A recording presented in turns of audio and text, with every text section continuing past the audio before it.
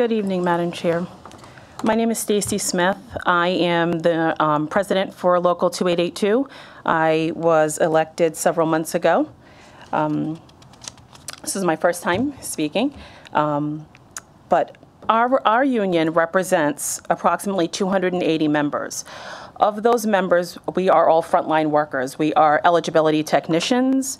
We are um, customer service um, aides. We are um, interpreters, other clerical staff, including child support agents. Um, we are the people who make the eligibility determinations for all programs such as Medicaid, SNAP, cash assistance, child care benefits, and child support services throughout the state. I was hired almost six years ago. Um, I took the civil service exam in order to ob obtain my job. And I'm pretty much here asking for your help. Um, Governor McKee's administration and Director Brito's leadership has opened the doors for us to have more communication. Um, and your ability of requiring um, documentation for hiring reports has helped greatly, but we're still short-staffed. There's a lot of work to be done. Um, in January, we had there were 659 filled FTEs, but we have approximately 100 positions still that we need. Every day we come in and we work hard but the number of cases that we're seeing, we don't have enough staff to keep up with them. We're on time frames that are that don't even make sense anymore. We're being timed on how long to work a case depending on which what kind of a case it is. We often don't know what those cases look like when we when we pull it from our system. So it becomes daunt, a daunting task. Um, Bridges doesn't often work the program's been here for almost seven years, and it doesn't often work. It Does it work better than it did in 2016, 2017? Yes. But do we still have problems every day? Absolutely. The case num the cases are just crushing. Um, 35 minutes to do a new application, and that is if we have everything. Most times we're not following policy. We're not following it. We kind of skirted around it because of COVID when the doors closed and we had to close our doors and think of how we were going to do the work in a different way. And and so policy wasn't something that we were following strictly because there were so many waivers in place. And now that those waivers are starting to end, we need to get back to following our policy because unfortunately, the customers that we serve the people in the public, they're used to the policies that we've had for the last three years, and so they're not following them either. So we're not getting documentation that we need on a daily basis for those cases, and it takes, it just extends how long we have to work that case. Um, in our call center, and when I first started with the department, I started in the call center. So I know what those call lines look like. Sometimes customers are on hold for hours. And when you get that call, the first thing they're doing is they're yelling because they're upset. They're waiting, they're, they're desperate for our help, and they're frustrated.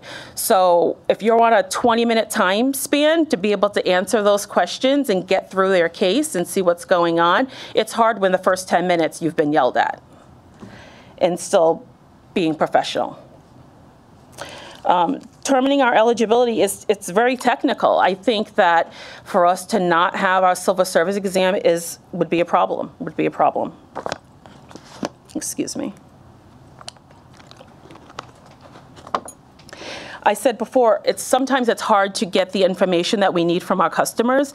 So when on when we receive an application, if we have everything we need, we could probably pos possibly process that case that day but often we're missing employment information, we're, we're missing who, who is in their household what their expenses are. Every single program has a different policy. So we have to integrate if they have if they have more than one program that they're applying for, we have to look at the policy for each of those programs and be able to enter that information into the system to be able to determine what they would be eligible for.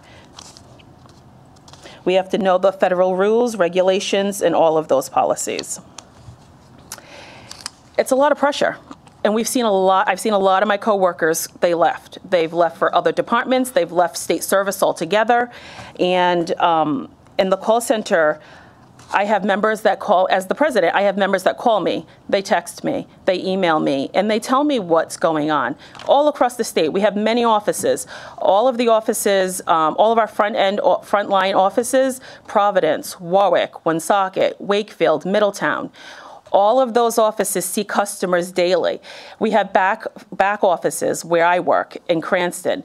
Um, there's two offices there that we do back end work where we don't physically see the customers, but we're doing the work behind the scenes, and and it's just it's it's like an avalanche. It's it's never ending.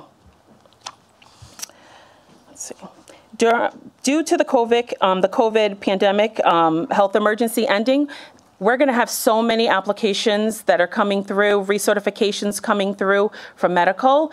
And I know that the department is wanting to have a contractor that comes in and helps us assist with that work. I, I have concerns with that because as a state employee, we have to, we have to be able to um, go through that case and, and finalize and authorize that case. A contract employer cannot do so. So my fear is, are we going to be duplicating that work? Because we have to go through the case to make sure that it's done correctly. Over 300 recipients are going to have to, they're going to have to be redetermined.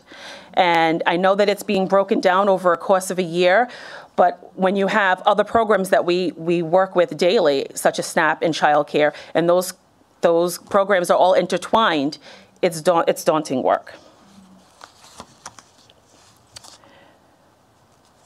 We've only added three net positions in the last few months. Um, we, we started, we have a new office, we have many new um, ETs that started over the course of the end of summer into the late fall. And, and when I saw the numbers that when they were broken down, I realized that because we've lost so many members, that the members that we've recruited and that we have that are doing great work, we don't we still don't have enough. We're still behind the eight ball. And and if we don't do something now, we're never gonna get we're never gonna get from under it. We're never. We've been asking for months on end.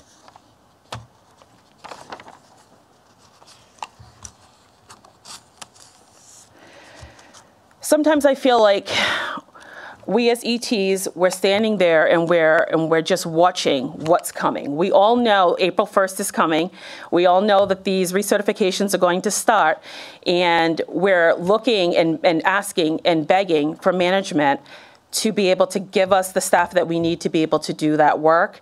And it looks as though we're going to be hit with the tsunami, and none of us have life preservers. None of us are ready to be able to combat what's coming for us in less than three weeks. Um, even with a contract um, staff, they still have to be hired, they still have to be trained. They still have to have all of these steps done, and we're already going to be starting this work in, in on April 1st. So we're behind and we have we have we don't have enough staff to do it. I want to um, assure that the committee that we do want to be part of the solution. Um, again, Director Brito has been very open in having open lines of communication, trying to be transparent, but sometimes that gets muddied as we go through the process. And so we as a union have agreed to lateral freezes. So our eligibility technician ones have a six month lateral freeze to help with onboarding of new staff. We did that last year and we were able to get the members, um, 40 members, but then with all the staff that left, we really didn't net, we didn't net anyone. We are working with um, um, an agreement to decrease the amount of time an eligibility technician one can work before they can transition to an eligibility technician two. So what that means is eligibility technician ones are back office workers. We work in the background. We work cases that we don't need to physically see the customer, but in all our forward-facing offices, those are the eligibility technicians two. They are the they are the people that meet the customer, sit with the customer, go through their case. And with a new office opening, in, in July, potentially, we're going to need to be able to staff that properly. Um, when we left Elmwood Avenue, um, and we moved to, we ended up moving to eventually um, One Reservoir Avenue. The staff that we had at Elmwood Avenue is not the same front end staff that we have at One Res. That office is not able to see the influx of people that are coming in. And I know that it's been said that notices have gone out to um, the customers and that um, they're getting letters and they're having social media information given to them. But often either they don't understand it, um, they maybe they're not able to read it, but they're going to come into the offices. They're going to continue to call, and if we don't have the staff that can handle that, that then we're going to be we're going to have we're going to have a lot of problems. Um, my members, they're they're tired of excuses. We I, they come to our meetings and they hear this and they're like, but what are we doing? We've been asking for 18 months for more staff and it's not here. And now we have to start this work and we're short staffed. Um, so I, I, do appreciate your time. Um, and I, I, can answer any questions that you may have to the best of my ability. I think we have some questions. Thank you. Representative Alzate was going to go first, Grace. Oh, oh she. Uh, is it Jim? Sorry. Jim? Jim. Jim? Yes, We gonna be real good friends. absolutely. I'm always an optimist about having good friends. I don't fully disagree with you about the civil service exam. I do, I but I also don't agree with you either, right? So we're gonna have to meet in the middle at some point.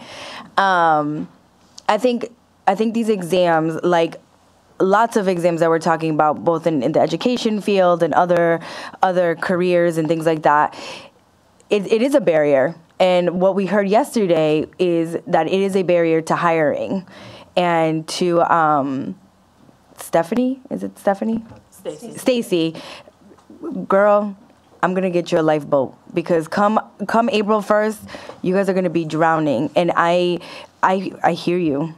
I, I'm sorry for what's what's coming. I this has been an ongoing issue. I feel like we have this conversation yearly. It's it's not enough. Whatever whatever you guys are doing, it is not enough. You do need the help. We hear you. We I, I like I've said all night, like I've, I've worked with the clients, right? And so I know what your offices are like. I, I'm trying. Well, I will say this, that um, in regards to the civil service exam, we have a list of candidates on that exam. And, and the Department of Administration and HR are stalling, uh, for lack of a better word, with how quickly they can process those people that are on that list. They'll call lit names and they'll call candidates and then they offer them positions and then they're giving them a window of up to six weeks to accept a position. And that's too long. Yeah. We're, we're being told that um, oftentimes people rescind that position right before they're about to start. And so my argument to that is why are we waiting six weeks then? Because if someone is going to rescind that position, if we gave them a window of two weeks, then at least we're four weeks ahead instead of mm-hmm. six weeks out if they rescind on that sixth week. Yeah.